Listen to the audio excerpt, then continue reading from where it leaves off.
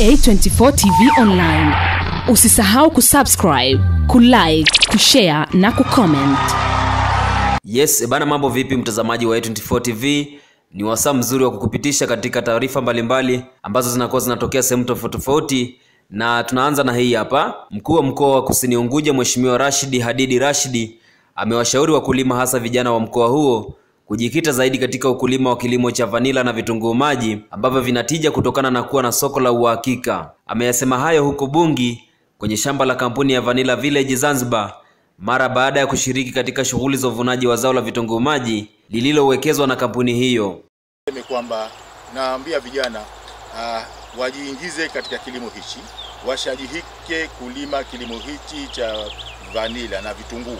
Kwa kweli ni kilimo ambacho kinaleta tija.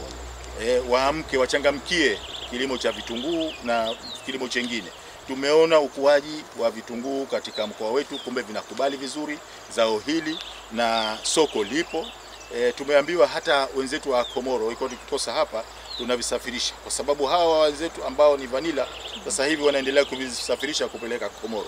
Ni vina thamani kubwa na soko zuri, na wapo hata katika ma, masoko yetu ya hapa ya ndani vile vile vitunguu vina vina vinazalisha vizuri, vinanunuliwa vizuri. Nawaambia vijana wetu au wananchi kwa ujumla tushiriki kikamilifu katika kilimo hichi, na niwaambie kwamba wataalamu wetu wa kilimo waje katika maeneo haya ili washajihishe e, ndugu zetu na wape taaluma ya kutosha juu ya kilimo hichi cha vitunguu na kilimo cha vanila.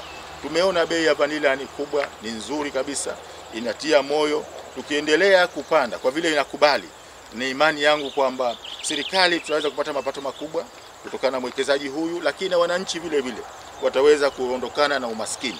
Naye msimamizi kutoka kampuni ya Vanilla Village Zanzibar, ndugu Simon, amesema kwa vile kilimo cha vanila ni kilimo kinachokubali mazao mchanganyiko, kwa sasa tayari wamefanikiwa kuvuna takribani tani kumi na nane za vitunguu maji na wamekuwa wakivisafisha kupeleka nchini Komoro, huku zao la vanila likiendelea kustawi vizuri na wanategemea kuvuna baada ya mwaka mmoja. Uh, mpaka sasa hivi tumelima jumla ya hekari 36 za vitunguu na mpaka sasa hivi tumeweza kuvuna hekari uh, kumi na mbili za vitunguu. Katika hizo hekari kumi na mbili za vitunguu tayari tumepeleka shehena moja pale Komoro e, siku nne ambazo zimepita.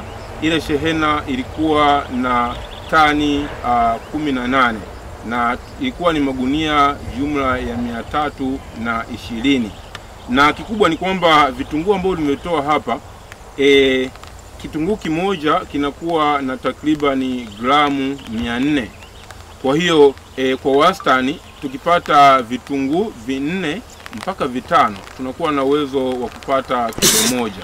Kwa hiyo katika shamba moja la heka moja ambalo tunakuwa e, tumepanda vitunguu tunakuwa na uwezo wa kupata kilo nyingi, lakini pia tunakuwa na uwezo wa kupata dazani za tani.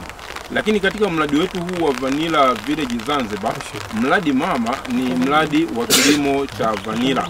Uh, miradi ya vitunguu na miradi mingine ni miradi ambayo inasapoti uh, kilimo cha vanila, kwa maana kilimo cha vanila kinasapoti kilimo mseto.